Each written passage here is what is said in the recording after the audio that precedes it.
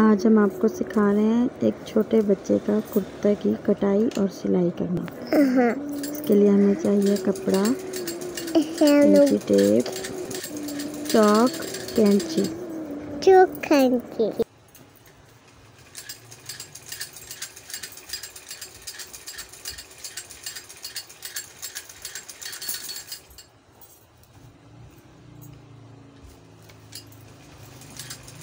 सबसे पहले जिस कमीज़ का हमने नाप करना है, उसको आप सीधा करके रख लें उसके बाद इसकी लंबाई आपने इंची टेप से नापनी है। इसकी लंबाई है सत्रह, साढ़े सत्रह इंच, ठीक है?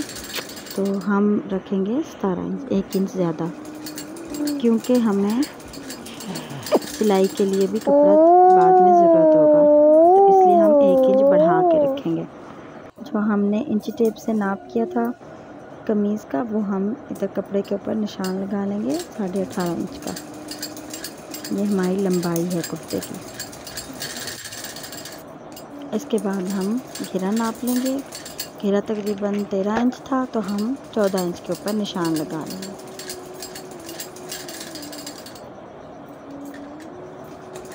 ये हमने चौदह इंच के ऊपर निशान लगा लिया। अब हम इसकी लंबाई और चौड़ाई कटाई कर लेंगे इधर ना थोड़ा कपड़ा हमने फालतू रख लिया है। ये देखा इस वजह से फ़र्क है। दिखाओ इधर ऐसे मतलब हाँ। ये अब हम इसकी कटाई कर लेंगे।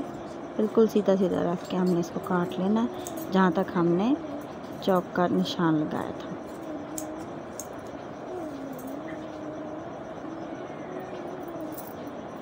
हमने पहले इसकी चौड़ाई काटी थी अब हम इसकी लंबाई को काट कर लेंगे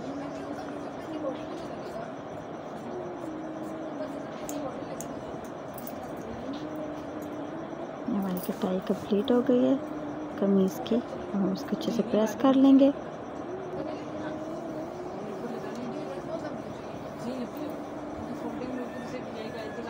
हमेशा कपड़ा जब भी आप काटें तो आप साथ साथ उसको प्रेस करते जाएँ।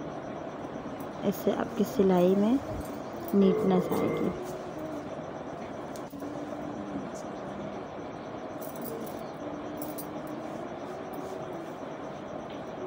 अब हम इस कपड़े को डबल पहले किया हुआ था। अब हम इसको दोबारा से डबल कर लेंगे।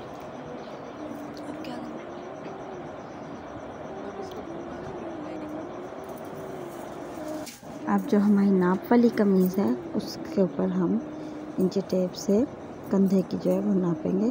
कंधा तैयार हमारा जो है वो सात इंच आ रहा है। तो हम इसको रखेंगे तकरीबन आठ इंच। क्योंकि फिर हमें सिलाई के लिए भी चाहिए होगा ना कपड़ा। तो हम इसको रखेंगे। सात इंच।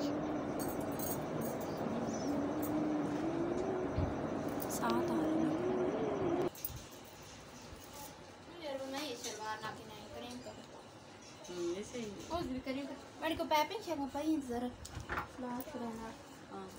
ही। साढ़े छः यहाँ तक आ रहा है साढ़े छः पर नहीं, आप इतने ही कर दो। बस यहाँ में निशान लगाए, वहाँ तक कर दो। यहाँ से सात इंच के ऊपर हमने निशान लगाए और इसकी हम गुलाई कर लेंगे ऊपर की तरफ़, कंधे की। अब इसकी आप कटाई कर लेंगे।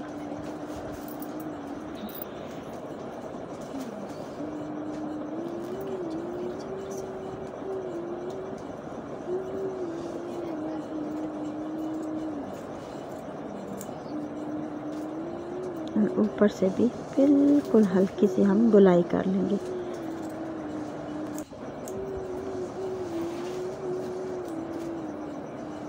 ये अब हमारी कुर्ते की जो कटिंग है कंप्लीट हो गई है।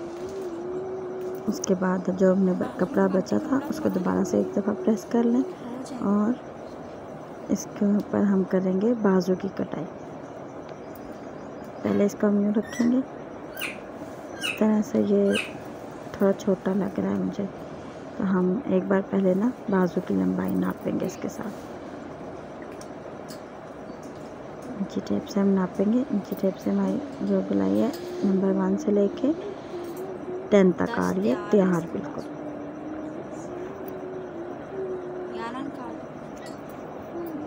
तैयार हुआ हुआ जो बाजू है, वो दस तक आ गई तकरीबन दस इंच का। तो हमें निशान लगाना होगा ग्यारह इंच पे। लेकिन ये कपड़ा हमारा कम लग रहा है इस तरह तो हम इसको दूसरी तरह से फोल्ड करेंगे ताकि हमारा कपड़ा जो है वो पूरा हो जाए।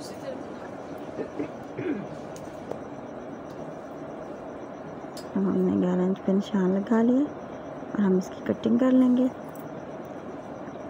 ऐसे बन